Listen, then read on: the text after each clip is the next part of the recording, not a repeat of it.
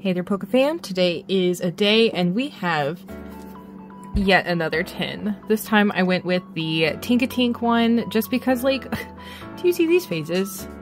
They are so cute, and I also can't take them very seriously because their little hammers are just so goofy. Um, anyway, uh, let's get into it.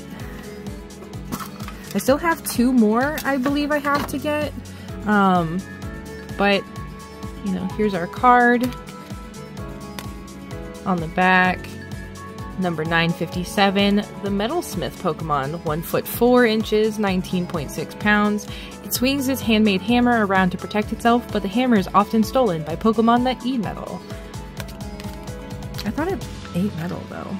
Anyway, uh, and then we have the sticker, and we have, ironically enough, a Tinkaton Paldean Fates and a Ceruledge.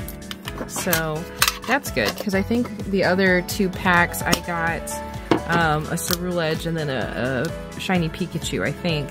Um, so let's start off with the Ceruledge.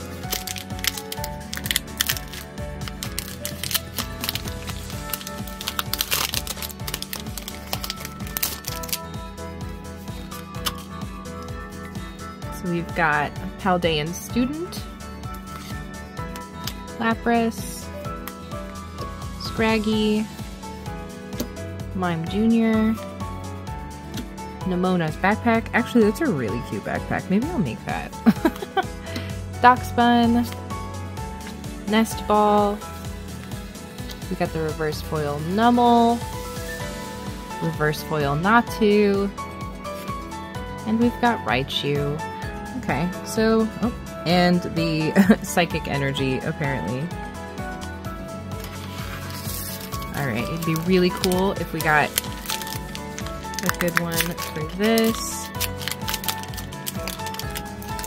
Also, I have the three new type tins.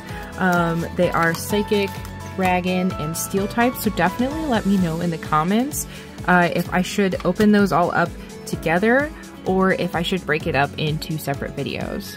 So for this one, we have Tandemaus, Mankey, Flittle, Pikachu, Camerupt, Moonlit Hill. Okay, but that's really cute. Oh my goodness.